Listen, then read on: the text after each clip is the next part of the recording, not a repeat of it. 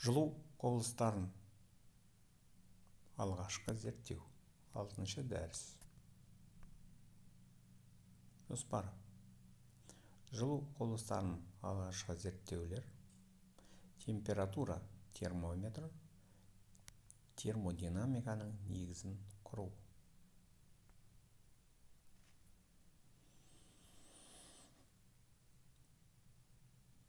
Джеймс прескотт джоуль 24 желтоқсан 1818 жылы сольфорд ланкашир англия ұлыбританияда туған 11 қазан 1889 жылы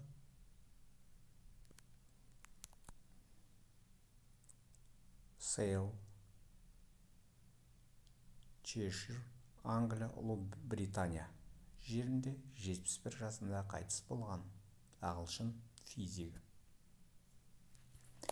Термодинамиканың қалыптасуына үлкен үлес қосқан 19 ғасырдың ұлы ғалымы тәжірибе жүзінде энергияның сақталу заңын дәлелдеген электр тоғының жылу әсерін айқындайтын заңды ашқан. Молекулалардың қозғалысының жылдамдығын есептеп оның температурамен айналыстылығын анықтаған. Ғалымның құрметіне энергияның өлшем бірлігін джоуль деп атаған.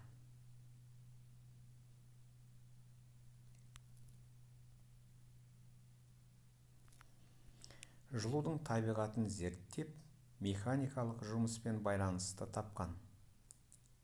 Нәтижесінде майермен бір уақытта бір тұжырымға келіп жалпы энергия сақтандыру құқықтарын байқап бірінші термодинамикалық заңын тұжырымдаған. Томсонмен бірге абсолюттік шкала температурамен жұмыс істеген.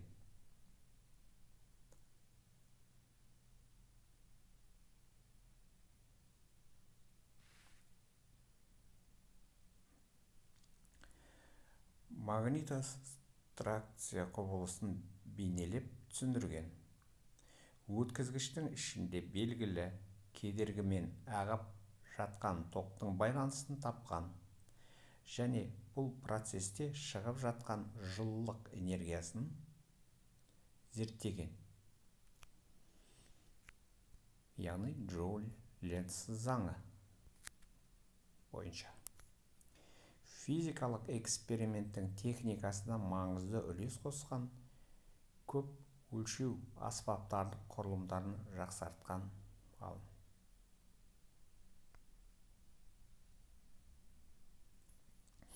Бу машиналарының дамуы ал одан соң пароходтар және паровоздардың қолдануы бу және газдың термодинамикалық қасиеттеріне қызығуы арта түсті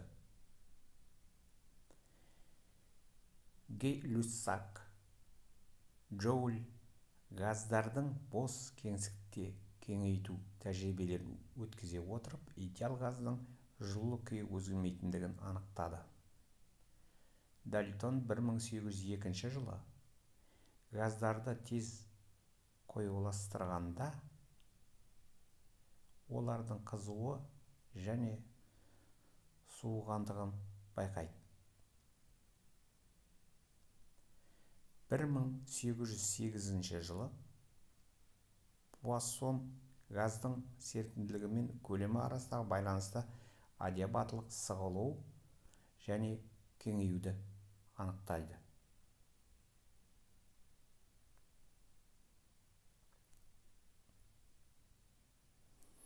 Ал лаплас дыбыс көлемін ньютон формуласында пуассон коэффициентімен алынған квадрат түбірі түбірді көбейтіп табады. Пуассон коэффициенті тұрақты қысым және газдардың меншікті сыйымдылықтарының қатынасы ретінде анықтайды. Дамып бара жатқан жылу техникасын үшін жылу ұзату мәселесі маңызды екендігі көрінеді. Петербургтік академик рихман 1750-1751 жылдары жылу ұзату бойынша зерттеу жұмыстарын алып барып осы саланың негізін қалаушы болып табылады.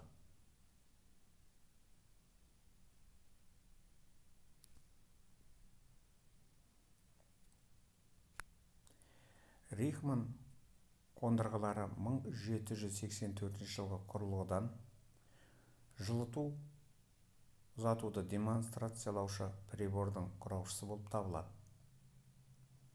Рихман және эммергауз пікірлеріндегі айырмашылықтар себебін бруэ 1768-1830 жылдары өмір сүрген.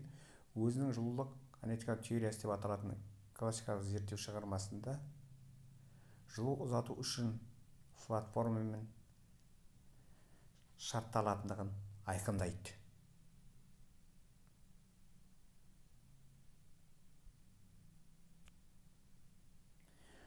Жылу жылдамдық ішкі жылу өткізгіштік және сыртқы ортаға беру брус жылу ұзату дифференциалды теңдеуі жазады.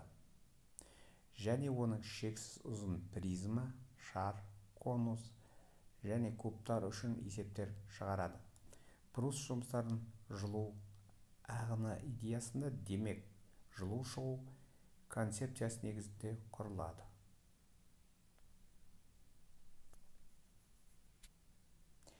Николай леонар сади карно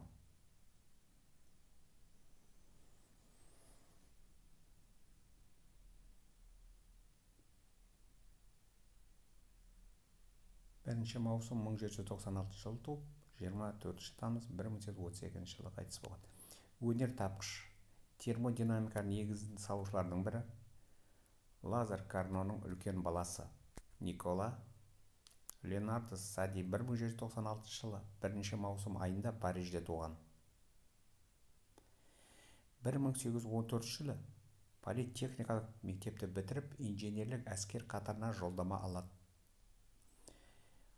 1828 жылы демалысқа шыққаннан кейін ғылыми зерттеулермен айналысады. Жылу алмасу газдың кеңу заңдары мен будың механикалық пайдалануын оқып зерттейді. Энергияның жылуға алмасуы температуралардың әртүрлі екі жылу беретіндігін көздің көмегінсіз мүмкін емес екендігін түсіндіретін әйгілі карно теоремасының авторы.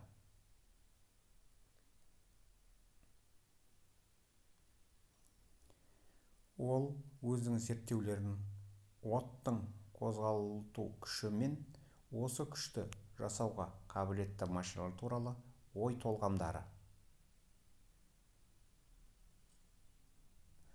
1824 жылы атты жылу туралы жарыққа шыққан атақты эссесінде баяндайды. Энергияның сақталу принципін зерттейді. Сади карно 1838 жылы 20 тамыз айында парижде қайтыс болады.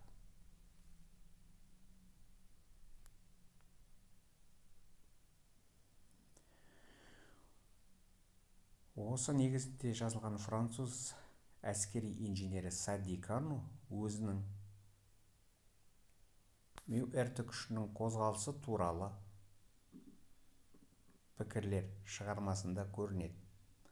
Бұл термодинамиканың бастамасы еді.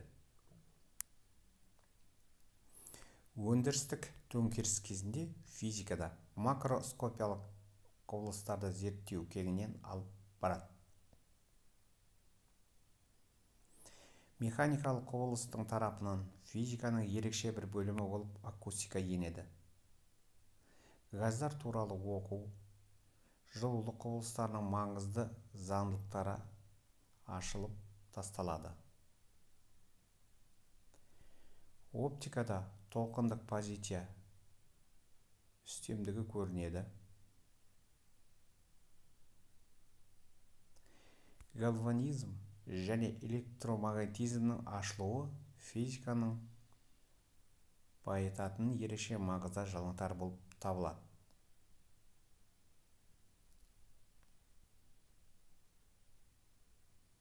Бекіту сұрақтар жылу құбылыстарының алғашқы зерттеу температура.